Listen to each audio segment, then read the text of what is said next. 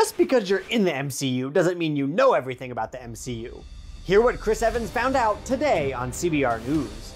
What's going on, everyone? Welcome to CBR News. I am Ryan PC Trimble. The MCU has investigated many important questions over the years, such as what is the true meaning of a hero, and how much should one sacrifice for the greater good? And perhaps most importantly, does Captain America well, She Hulk has revealed the answer, and Captain America himself has responded. At the end of the show's premiere episode, Bruce Banner reveals that Captain America did, in fact, lose his virginity during his USO tour in 1943. Chris Evans, who first took on the role in 2011's Captain America the First Avenger, hopped on Twitter with this demure reply. On top of that, Evans apparently found out about his own wartime escapades at the same time we did, because Mark Ruffalo says he never bothered telling Evans the show was planning on going there.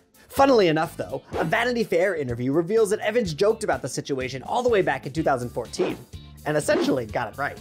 New episodes of She-Hulk Attorney at Law premiere every Thursday on Disney+. Are you enjoying She-Hulk? Let us know in the comments, and be sure to stick with us here at CBR Presents and CBR.com for all the latest out of the MCU. For CBR News, I'm Ryan PC Trimble. Thanks for watching, and I'll catch you later.